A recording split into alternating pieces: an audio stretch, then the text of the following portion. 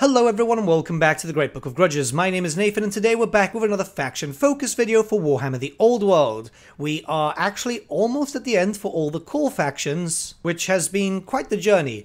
But we can't have a journey without talking about the Orcs and Goblins, a kind of memey faction for Warhammer Fantasy, which, let's be honest, did kind of suffer every now and then when trying to make lists due to problems with animosity and so on. So what we're going to do is the usual thing. We're going to check out the roster, we're going to check out the special rules, uh, some changes that I'm rather not too keen on, if I can be honest with you, and some other stuff.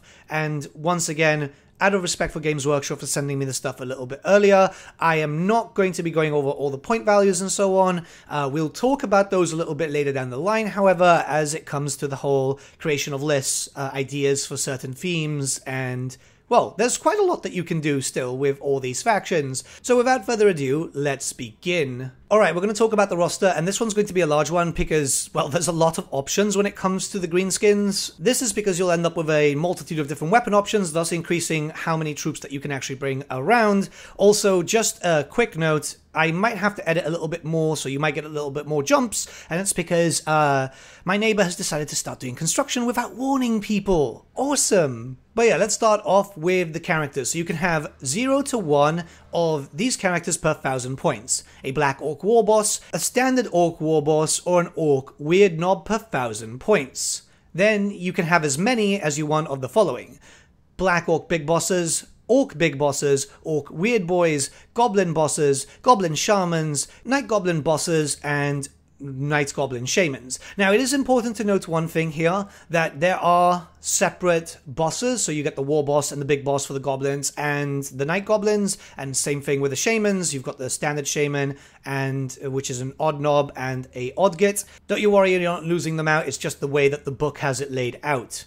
Now, if we go into core, this is 25% of your army must be spent on this. You can have as many as you want as the following.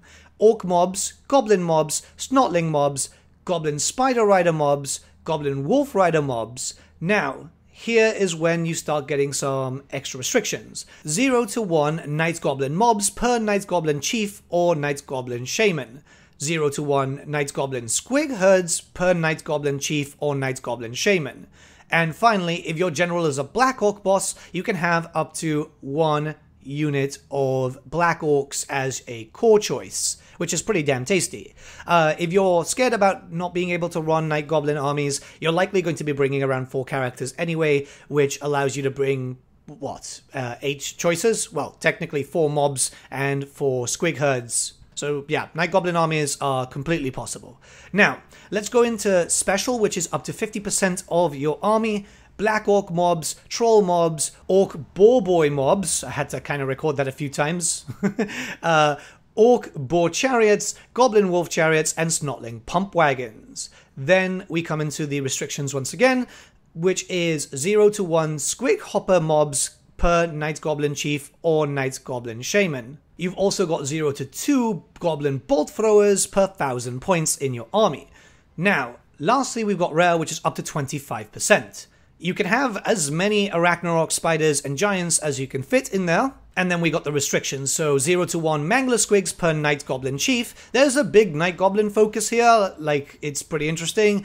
Uh, then 0 to 1 Rock Lobbers per 1000 points, and finally 0 to 1 Doom Divers per 1000 points. Overall, the roster is quite large. Uh, the Savage Orcs aren't missing, we're going to talk about that a little bit later, because it's a bit of a change to how Savage Orcs work. But overall, the roster is very, very large, and yeah, you should be fine to replicate with anything. I don't think there's actually anything new, but you shouldn't really need anything new because the problems with the Orcs and Goblins were never the roster. And I imagine that we will get some technically new units, a la Storm of Chaos style, by the time that we get their Arcane Journal. Alright, we're going to talk about the special rules because there's actually quite a few. The first one being Bigguns. When engaged in combat, a model with a special rule has a plus 1 modifier to its strength characteristic and gains the Armor Bane 1 special rule. Once again, yeah, you know, Bigguns, still a thing, so don't you worry, it's just like an upgrade as per usual. Next, we've got choppers. So during a turn which it's charged, a model with this special rule may re-roll any rolls to wound of a natural one and improve its armor piercing characteristic of its weapons, so plural here, by one. And this only applies to non-magical weapons and it doesn't apply to mounts also. But yes, if you've got additional hand weapons with your black orcs, yeah, you know, this would be a thing. Next, we've got the boys. So this one's super simple. Your army must include one Black Orc boss for every Black Orc mob it includes, and vice versa. So yeah, if you want to bring in Black Orcs, you need to bring in Black Orc characters. If you want to bring in Black Orc characters, you need to bring in Black Orc mobs. Next is Fear of Elves. Yep, so any elves will cause fear to units with that special rule. Once again, you know, goblins will be scared of elves. The next one is ignore goblin panic. A lot of the orcs will basically just ignore goblins if they're destroyed or they break and flee and so on within six inches, so you don't have to worry. This is again useful if you're one of these people who like a bit of a mixed war, which a lot of people might, to be honest. Plus, I mean, you know, orcs generally don't care about uh, goblins anyway. Then we've got Ignore Panic, which is pretty much the same thing because black orcs generally don't really care when anyone else is panicking. It's one of the benefits of being genetically modified by the Chaos Dwarfs, isn't it? Next we have Quell Impetuosity, and this one is just basically it stops units within six inches from using the Impetuous rule. This is not Animosity, uh, this is more of a uh, universal special rule, and we'll be going into the universal special rules later down the line, so don't worry. Next, we've got Tusker Charge, and during a turn which it's charged, a Warboar's Tusks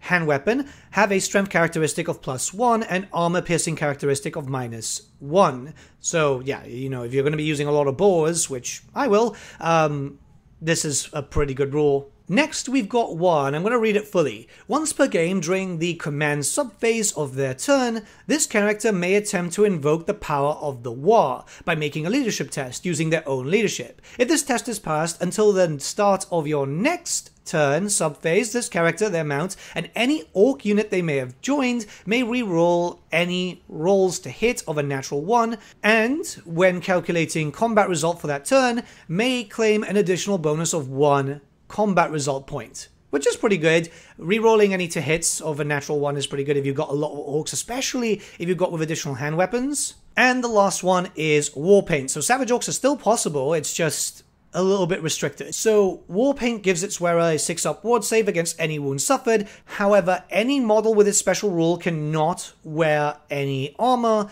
They can, however, have a shield, which is something very common with the Black Orcs.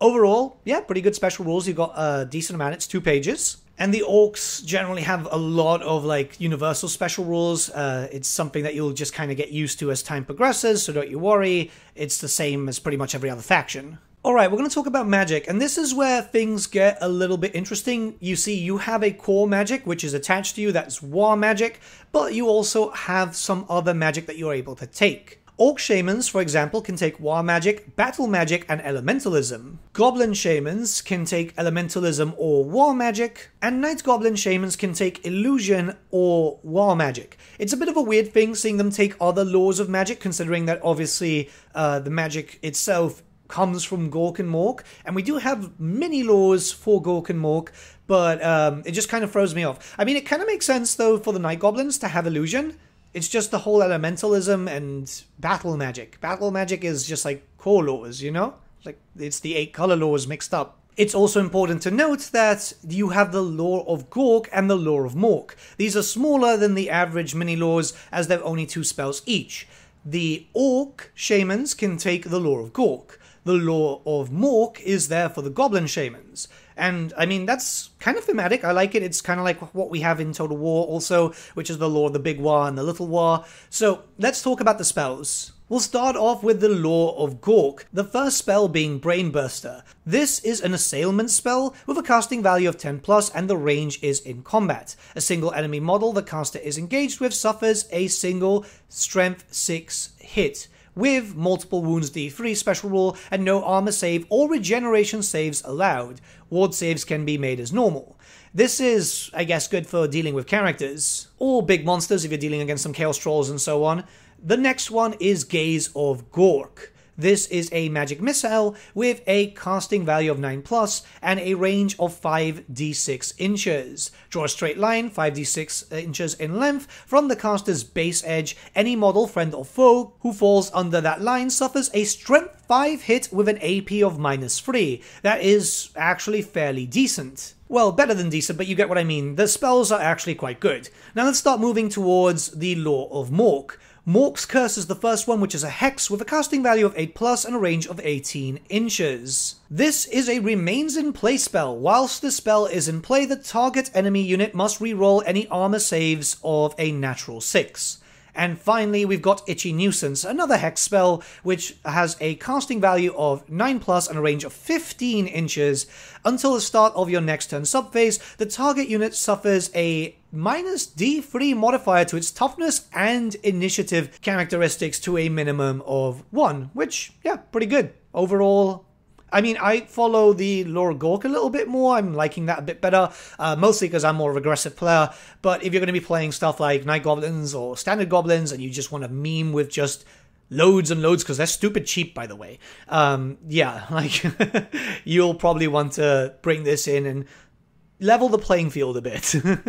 All right, so I want to talk about one thing really quickly before we get into the pros and cons. There's not a lot to talk about the Orcs and Goblins. It's mostly because they are very much the same in terms of 8th edition. But one thing is, uh, you can't really go full Savage Orc, which is kind of disappointing. I mean, you can if you really stretch it, but yeah, let's talk about it. So with Orc bosses, this is the melee version, not the spellcaster, you can have 0 to 1 per 1000 points, which gets them Frenzy, which then allows them to get Warpaint. It's an 8 point upgrade. So in a 2000 point game, which I imagine is going to be the average, you can have two Orc War bosses with this, right? And this is the exact same thing with Orc Shamans. So in total, you can have uh, four characters, which is a mixture of uh, bosses and shamans. This is both kind of for the old distinction lords and hero variants, right? But it's only going to be two of each, so two bosses and two uh, shamans. This is the same restriction when it comes to the Orc Boys, for example. This is the standard Orc Boy or core unit.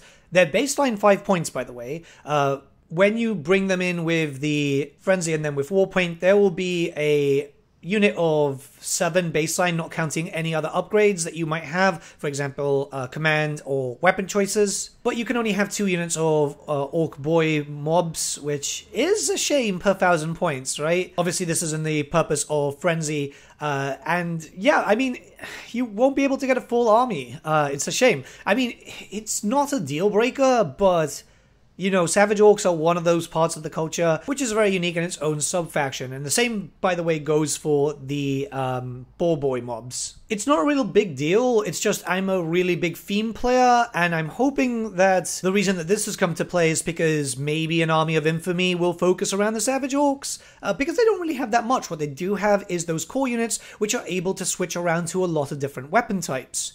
In fairness, you could still build an army around the Boar Boys. I mean, you've got quite a decent amount of core options and so on, uh, but it would be based around them rather than them as a whole, right? With the Night Goblins, even though there's still restrictions, you can still go full Night Goblin. It's still more than possible to do so uh, because you're going to be bringing, what, four characters, which will then give you four core choices, and then obviously you've got the Squig Herds too. I'm, I'm trying to hope for the best for an Army of Infamy. It's, I know it's not the most popular list. I mean, it wasn't really great uh, for 8th edition either, but it's more theming is important. The models do exist. I understand that they're trying to maybe not use too much stuff, which is now in Age of Sigmar, but the divide is always going to exist because those universes are linked up, whether we like it or not, or Games Workshop likes it or not they're still linked. Alright, we're jumping into the pros and cons. I don't think we're going to be spending too much time here. Orcs have a lot of variety, and I mean a stupid amount of variety, because you've got the goblins, you've got the night goblins, you've got the orcs. Uh, those themselves have all these different weapon options too. I mean, just looking at the basic orc boys, you've got basic hand, weapon, and light armor as base, and then you can give them war bows, additional hand weapons, thrusting spears, throwing spears, uh, shields too. There are so many options that one character line, so well, unit line there for the orc mobs is more or less five, well, more if you don't count shields being added in and so on, in terms of core choices, right? There's so many different things, and that can actually go further when you start looking towards goblin mobs or pretty much everything else. You've got a stupid amount of choices. The variety is there. You've also got, you know, loads of big monsters. The trolls is basically three different types of trolls. So yeah, you're pretty much stacked there. If you're just focusing on orcs and goblins, you're gonna have so much variety that you're just going to be able to play around with loads of different things. A con is what we've been talking about for the past 40 minutes is uh, Savage Orcs. Uh, no Savage Orc armies. Again, hoping that they have it in an Arcane Journal uh, because, I mean, I've got a stupid amount of uh, Savage Orcs. I've always loved them.